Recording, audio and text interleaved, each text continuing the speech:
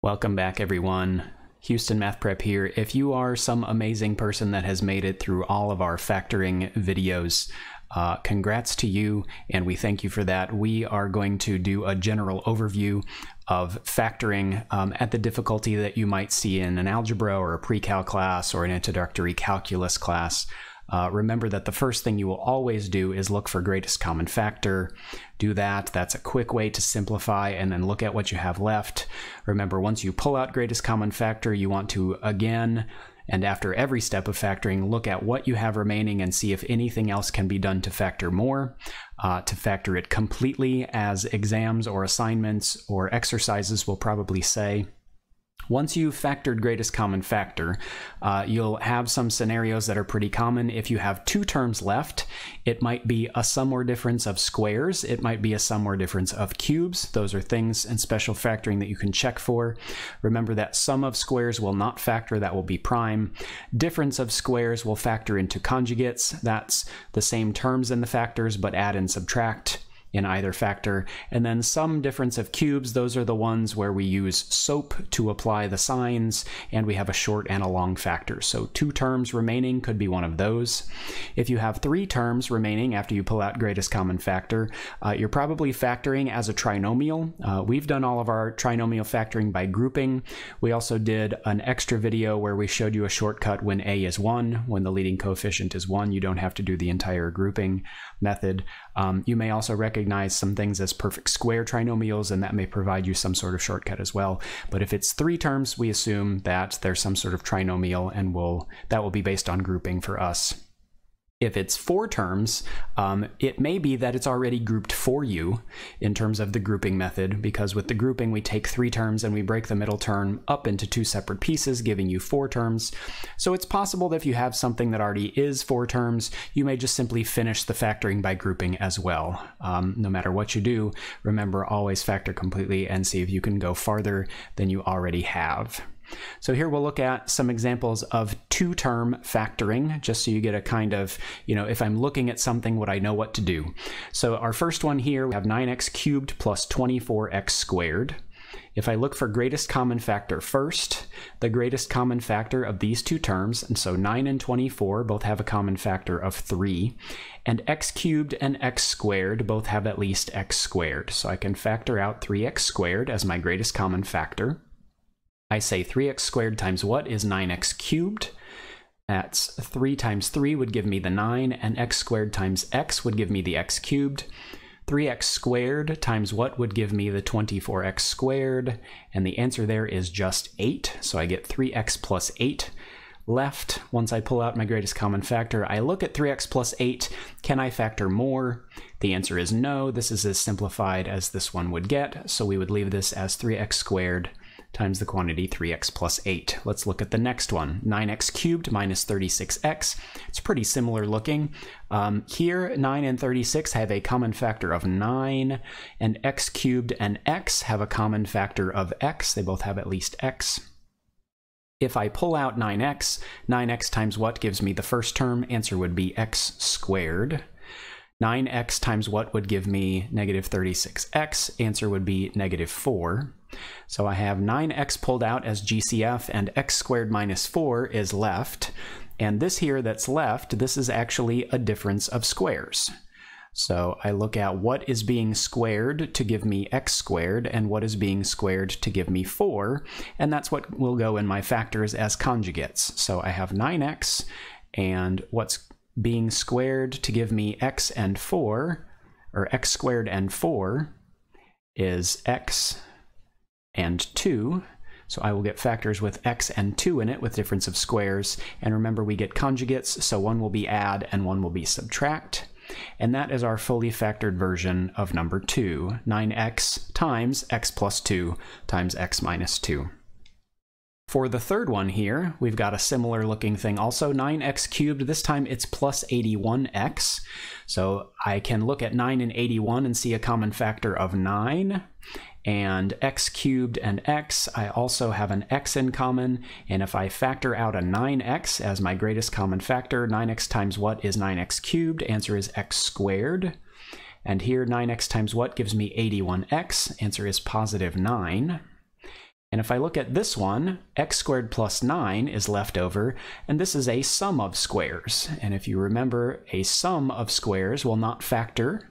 So this one will not actually factor any further. We were able to pull out 9x, but you cannot factor anymore because what's remaining is a sum of squares, a little bit different than a difference of squares, which does factor. For our last one here on this uh, two-term page of problems, we've got 9x cubed minus 72 Looking, there are no x's in the second term, so I won't have any variables in the GCF, but 9 and 72 are both divisible by 9, so I can pull out 9 at least. And then left over, I would have x cubed in the first term, and 9 times negative 8 will give me the negative 72. So here for this one, I look at the two terms that I have left over, x cubed minus 8, and this is actually a difference of cubes. x cubed is a perfect cube, and so is 8. So we say, well, what is being cubed? And that will give us our short factor for the difference of cubes. So what is being cubed here? x is being cubed here. What is being cubed to give me 8? 2. So this is like a and b in our difference of cubes formula, if you remember that. And remember, for our difference of cubes, we have a longer factor in the back, and we say the square of the front term goes in the front, so square this, we would get x squared.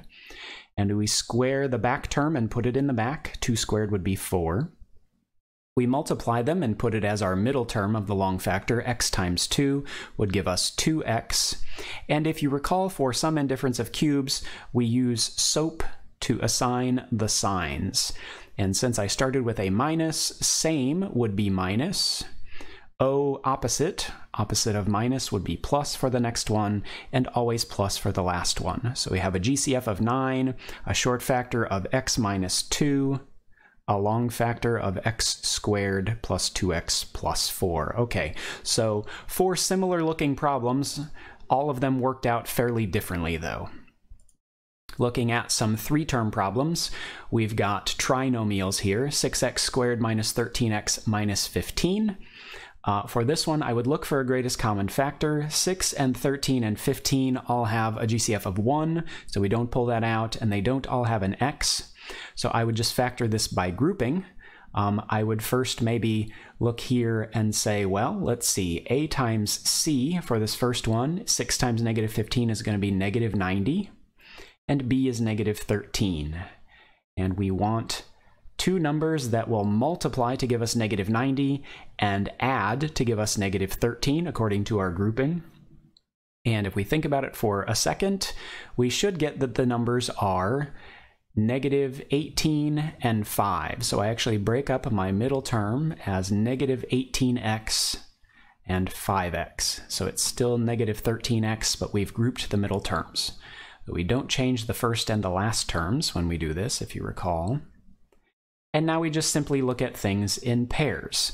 What's the greatest common factor of the first pair? Well, 6 is in common for the coefficients, and they both have at least an x, so I pull out 6x. Uh, left over in the first term, if I pull out 6x, would be an x, and 6x times negative 3 would give us the second term. So we're already saying x minus 3 is a factor. I copy that down again in my grouping procedure, and I say what times x minus 3 will give me the second half. Uh, if you see 5x here, a pretty good guess is 5. 5x there, and 5 times negative 3 would give us the negative 15. Remember that our inside stays a factor for grouping, so x minus 3 is a factor, and our outsides become a factor, 6x plus 5 is our other factor, and the answer there for this one. For number 6 here, 24x squared plus 28x minus 12. We don't have variables in each term, uh, so we wouldn't pull out any x's, but 24 and 28 and 12 all have a common factor of 4. So I pull out 4, then I would have 6x squared for the first term. I would have 7x for the second term, minus 3 for the third term. I still have a trinomial, so I now look at this and I say, can I do this by grouping, right? So with grouping, we look at a times c, and we compare it to b and see if we can find the numbers. So a times c here is negative 18, and b is 7. And if you pause for a second, if you'd like, think about what two numbers will multiply to give negative 18, add to give 7. The answer is 9 and negative 2. So we will regroup our middle term in terms of 9 and negative 2. I'm going to save myself some writing with the 4 and just draw an arrow and remind myself, hey, 4 is part of my answer here. It's one of my factors. So I'm going to go ahead and turn this into 6x squared plus 9x minus 2x minus 3. You notice we've grouped our 7x into two separate pieces there. And now we look at greatest common factor in pairs with grouping. What is the greatest common factor of the first half? 6 and 9 have a common factor of 3 and x squared and x both contain an x. So if I factor out 3x from the first half, I would have a 2x left over in the first term. I would have positive 3 left over for the second term. 2x plus 3 is present in the first half. I find it in the second half. I say what times 2x plus 3 will give me the second half. And because you notice we have the same terms but opposite signs here, this must be a negative 1. Okay, so my answer here, remember I had a greatest common factor of 4. I have a factor certainly of 2x plus 3. And then remember the outsides become a factor, so this is 3x minus 1 for our final factor for this one. Okay, looking at the next two here, we have number 7, we have 8x squared plus 8x minus 48. Uh, again, don't have variables in each term, so we won't pull out any variables as part of GCF, but 8 and 8 and 48 are all actually divisible by 8. So I'm going to go ahead and factor out an 8, leaving me simply with x squared for the first term, and actually x for the second term. And if we divide the 48 by 8, we will get minus 6 for the last term. So we look here and we figure out grouping. Now we can use a shortcut because a equals 1, so we have our shortcut. And we say a times c, which is just c, is negative 6 and b is the coefficient in front of our x term. This is actually a 1x here. So we're looking for numbers that multiply to give negative 6 and add to get 1. And if you think for a few seconds about that, the numbers are going to be 3 and negative 2. Those will multiply to give me negative 6 and add to give me positive 1. And because a is 1, remember, we can just take these numbers and put them in the factors, right? We have a shortcut, and we don't have to do the entire grouping method with this. So I will get x plus 3 as one of my factors from this, and I will get x minus 2 as another factor from this, and we will be sure not to forget our 8 as the greatest common factor that we pulled out first. Okay, 8 times x plus 3 times x minus 2 for that one. Looking here at the last one, 2x cubed minus 20x squared plus 50x. They are all divisible by 2, so I'm going to factor out a 2, and they all have at least an x in them, so we'll also pull out an x, greatest common factor of 2x, leaves us with x squared in the first term, 2x times negative 10x would give us the second term, and 2x times a positive 25 would give us the third term. So we look here and we have uh, a equals 1. We can do a shortcut here and say what numbers will multiply to give me 25 and add to give me negative 10. You might also see this is a perfect square trinomial, but the answers, uh, the numbers that work out for this are actually negative 5 and negative 5. We get the same number twice, so that tells us it is indeed a perfect square trinomial. So using the a equals 1 shortcut, I can write x minus 5, x minus 5, just as a step though, right, let's go ahead and keep our GCF of 2x. Uh, the way we would really want to write this though is since we have the same factor twice, we will write it as x minus 5 quantity squared. Perfect square trinomial there. Okay, good. So those are some three-term examples. We're going to move on to four-term examples. If it's four terms, remember we could just assume that it is already grouped for us and we just try to work it from there and see if it works. If it doesn't, it doesn't. But if we can make it work, we should. So we'll look here at the first two terms, 12x cubed and negative 16x squared. They're both divisible by 4, and they both have at least an x squared. So I'm going to pull out 4x squared. Uh, left over in the first term, 4 times 3 is 12, and x squared times x would give me x cubed. 4x times what gives me negative 16x squared? It would be minus 4. So I will go ahead and copy down my 3x minus 4 factor. And part of my grouping, I say, what times 3x minus 4 will give me the second half? Well, what times 3x would give me negative 15x? Well, it would need to be a negative 5. And you can also see that negative 5 times negative 4 gives me the 20. So this does factor by grouping. So we'll go ahead and write our factors down. We have 3x minus 4 and we have 4x squared minus 5. Now we look at either of these. Can I factor these further? Uh, this cannot be simplified. This looks really close to a difference of squares. 4 is a perfect square, x squared is a perfect square, but 5 is not a perfect square. So we're factoring in terms of whole numbers. We would not factor that as a difference of squares, and that would be finished. It's close to a difference of squares, but it's not exactly one. Over here, if we look at the first pair for this one, 18 and 27 have a common factor. Greatest factor is 9. x cubed and x squared, I can again pull out x squared for this one. If I pull out 9x squared, left over in the first term would be a 2 and an x. Left over in the last term would be positive 3. So I say 2x plus 3 is a factor. I copy it down. 2x plus 3 what times 2x plus 3 will give me negative 2x minus 3. I would need to change the signs there. So I get 2x plus 3 in both halves, makes that a factor, and the outsides become a factor 9x squared minus 1. I look and see, can I factor further? 2x plus 3 cannot be factored more, but if I look here, everything is a perfect square, and it's a difference of squares, which can factor further, right? So I have 9 x squared and 1 are all perfect squares. Subtract means I can factor. So if I just factor 9x squared minus 1, I say, what perfect squares are these? 9x squared is 3x times 3x, and 1 is 1 times 1.